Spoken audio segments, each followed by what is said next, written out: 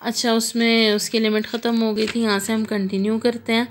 जिस तरह आपको कल सितार पढ़ाया था ना, उसी तरह इसमें भी तुम्बा लगा होता है, ठीक है?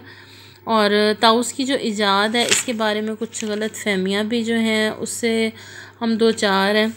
संगीत समाज, मार्ग, सफ़ा नंबर छब्बीस, ये एक रेफरेंस है।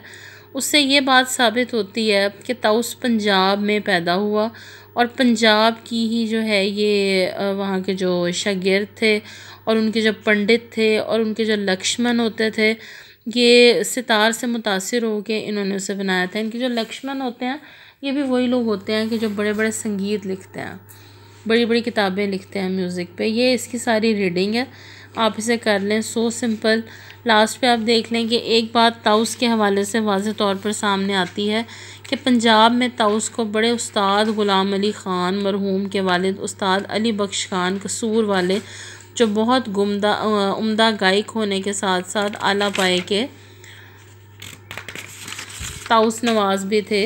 इन्होंने ताउस को बतौर सोलो साज में मुतारफ़ करवाया। ये साज भी कसूर घराने की पंजाब को देना है। आपके लिए मोस्ट इंपॉर्टेंट ये है कि आपको पता हो कि ताउस क्या है और इसे किसने ईजाद किया था और ये मुसलमानों की देन है या इसे हिंदू लेके आए थे।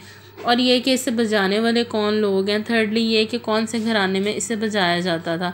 ये पाँच छः बातें हैं that are most important for you क्योंकि ये मोस्ट प्रोबेबली है कि वो आपको ऑब्जेक्टिव में पूछ लेते हैं। और इसमें बहुत ज़्यादा डिटेल में जाने की ज़रूरत नहीं है, लेकिन अगर ये आपको सब्जेक्टिव में आ जाता है तो फिर आप एज़ इट इज़ इसे लिखेंगे। ये बच्चे, आपका आज का लेक्चर था, इसके हवाले से आपने कोई भी क्वेश्चन करना हो तो आप मुझे ग्रुप में बता दें।